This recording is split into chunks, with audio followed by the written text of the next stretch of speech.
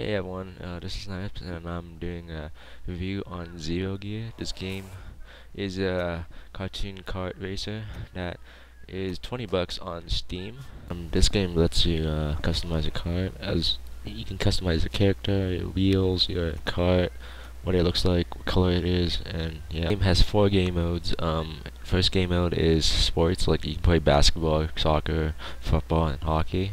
And second game mode is like racing against other people and uh, attacking them with weapons as you go and using the boost. And third game mode is tag mode. Whoever's it gets points, and sometimes you lose points if you're it. Whoever fills the bar up when you're it, they win. And last game mode is uh, target mode, like you uh, hit your kart to this target and try to get more points. Like whoever gets most points after like five runs, like you win also. The graphics in this game is um, not next gen, but this game is like mostly based for kids and stuff, so I just can see why. In the audio department, uh, this game is pretty cool because it does have music when you're racing and battling and everything. Um, it, it's not that awesome, but it's, it's it's pretty fine. It's okay, but yeah.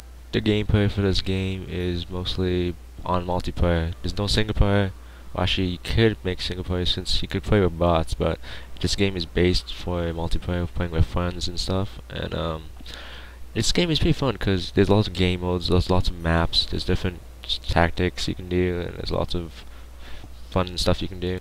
However, this game does get boring if you play this game a lot, and I don't think it's worth twenty dollars because you can use twenty dollars for a lot of stuff. Like you can get Team Fortress 2, which is an awesome game. I recommend you guys get it, and uh, yeah.